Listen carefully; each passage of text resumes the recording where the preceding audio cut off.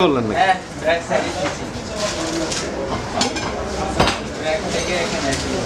আপনি কি পাঠশালায় প্রথম আসলেন না? এটা তো এই প্রথম আসছি।